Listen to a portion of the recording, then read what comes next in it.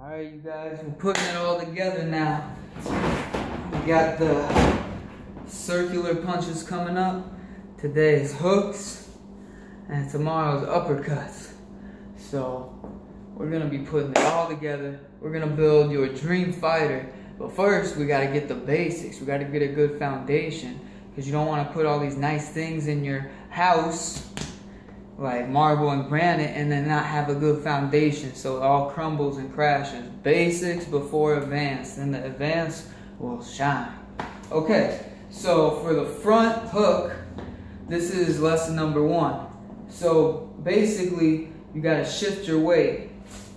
And remember back when we learned how to pivot your foot? So from here, you're already in a position to bring your weight back over so you're going ha, ha.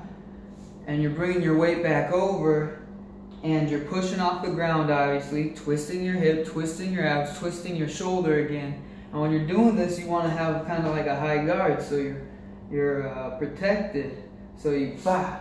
So you can even like, uh, say they're throwing like a jab, you can, bah, something like that. So that's lesson one. But lesson two is you really don't want to throw a lead hook from far away because you got to open up and that's just not good. You don't want to open up.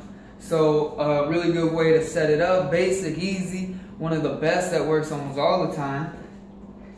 Go back to the jab and back to the cross. So when you throw that and you get into medium or short range, striking is all about knowing your ranges and which strikes are effective at those certain ranges. So you're in from long with the jab and the cross, or you're in a medium range. And then once you get to medium range or short range, start using the crosses, I mean the hooks and the uppercuts, okay?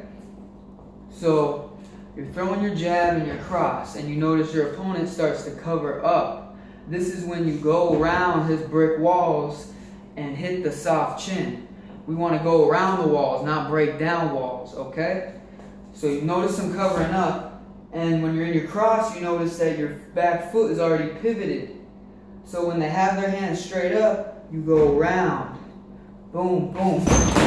You're already set up for that.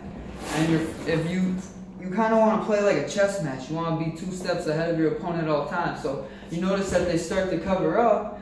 You don't have to throw these super hard. You just use those to set up your positioning and use your last punch as the knockout punch. But remember also this the hook, everyone thinks that it's a power punch. The hook is an accuracy punch. And the hook takes much practice to master.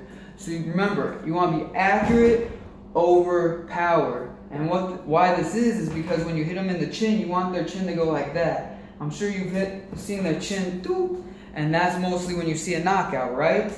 So also when you're throwing a big power punch, ah, they can see it coming more often. They can see it coming better. So when when you don't telegraph it, I'm sure telegraph it. I'm sure that you heard the punch that they don't see coming is the one that knocks them out. So practice that.